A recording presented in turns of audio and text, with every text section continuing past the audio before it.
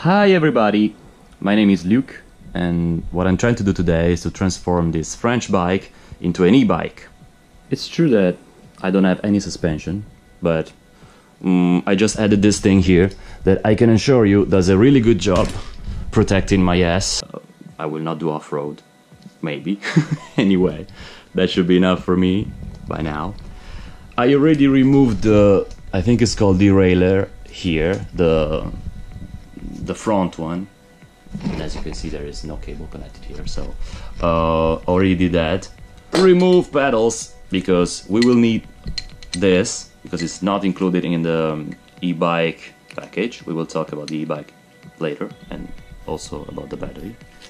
And also because we need to remove the crank because I bought a mid-drive e-bike kit that will be sticked here so that crank needs to be removed and then what I, is what I'm gonna do now. I will try to link the videos that I follow to understand how to do this because I'm new in this kind of things. Mm, yeah, I always handle bike but not not this level, okay? This is new for me. Uh, what I realized is that if you want to remove the crank, you first have to remove the pedals. It's easier. And what they don't say uh, in the videos is that a 16 key should be enough to unleash that. In my case anyway i don't know i don't know for you but a 16 key did the job. No special key needed. That will not be the case for the crank. Here for the crank i will need a special tool i have it but it will be the first time that i use it so i try to use it first i'll let you know later and okay I won't lie, it's more difficult than I thought. Uh, I managed to, I don't, I don't know if you see it, okay. I managed to remove the, uh, the little thing here, but it doesn't go away. So even if I have the tool, I need to ask for help. So I'm going to the bike shop near here to see if they can help me remove this thing. So, in the end, I'm back. And the guys from the bike shop did me this great favor. So now the motor should fit without any problem. And this is the masterpiece. So this motor is a Tongsheng motor and actually this kit is, is coming from uh, Shenzhen China. It was ordered on eBay. Uh, it's come in one month, maybe. Yes, not so much time. Uh, those were my previous pedal, not included in the kit. The kit includes a lot of stuff like the uh, VLCD5 system, the let's call it controller in the interface. Okay let's say interface of this motor.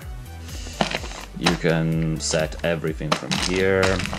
We also have something like um, I don't know if call this remote um, actually buttons there are you can link you can or you cannot as you want link to the um, interface system brakes with brake sensor that must be linked to the motor to say, hey, I'm braking, don't accelerate anymore. Accelerator. That I'm not sure if it's legal or not. Um, this is to know your speed. Should be installed on the back there. This is for the battery. Um, these are the connectors that will be connected here. And this will go into the battery because most of batteries ends like this and you will need this. I also have the battery, I have everything, and I will start now, and uh, probably I will count myself, just to see how much time I need to mount all this stuff. What I want, I will not mount this, nor this, nor this for now, and neither this. So, oops. Those components will need the new handlebar since I didn't receive it yet, those will be mounted one day maybe. So, aside. Oops. We put them aside here. Uh, no, this this should I mount it. I'll mount this now. Okay. Let's start from the motor. So by now the motor fits very well. Um, yeah, what I'm doing now is putting the cables where they're meant to be. What I need to say before anything is that to mount this thing there are a lot of videos online even from um, the, the company name how it's called um, um, Tongsheng that explains everything about how this should be mounted. I will link it to you so you can see everything there. But I want I even want to do something proper something that is clean a good cable system. So what I need to do now is to lock this thing. And then we can mount those pieces that will allow me to put back. The levers and the pedals. But seems very very fine. Very very good. It looks very good. Battery will be here. Okay let's move on and here we are after one hour of uh, pure mechanics I put the chain back mounted the pedals mounted the lever the motor is quite firmly on top of it now, there's only one thing that is missing, the battery. And now it's time for the battery. After that, I think I will mount this guy here, the interface for this bike. And this is the battery. Um, 36 volt, 15.6 uh, ampere hour.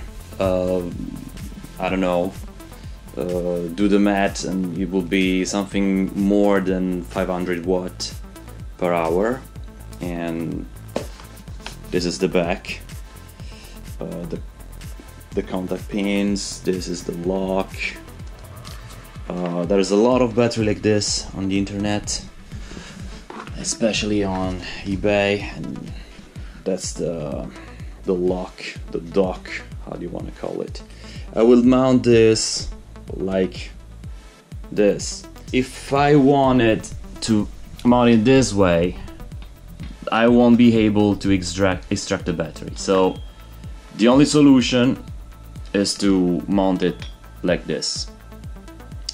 Um, that should be it. Um, here I removed the... Where is it? Oh, there it is. I want to cut here and replace those cuts with um, the proper one that comes with the kit that is this one in this way link it like this I will be able to use this one to connect to the motor easy peasy guys this thing is working the battery is connected. I even linked the speed sensor. I just connected the interface just to know if it's actually communicating in some way. And this is the accelerator. Let's accelerate, shall we?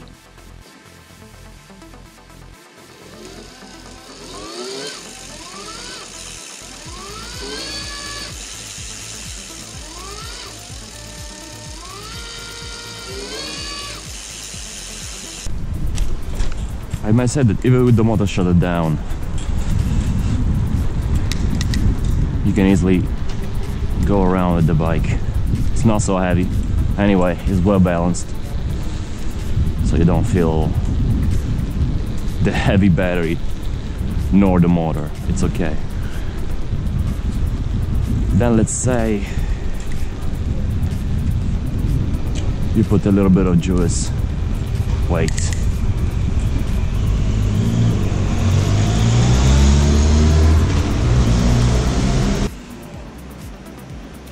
If you stay on the fourth gear and you keep pedaling or accelerating or whatever, you won't reach the max speed. But it's good enough to start without forcing too much the motor. That's it. That's okay. You can push it up and that's it. 34.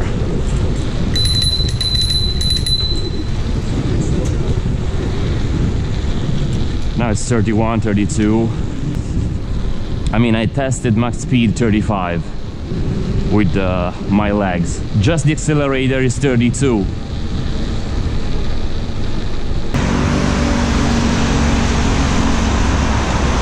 Yeah, you see, 32 max with accelerator.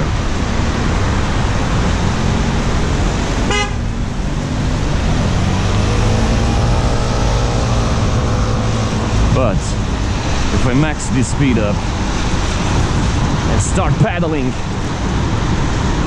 see this.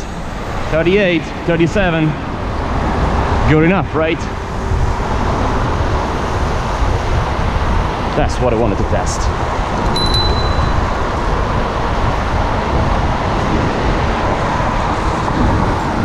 here we go. 38 good enough for me. Let's say this kit is really enjoyable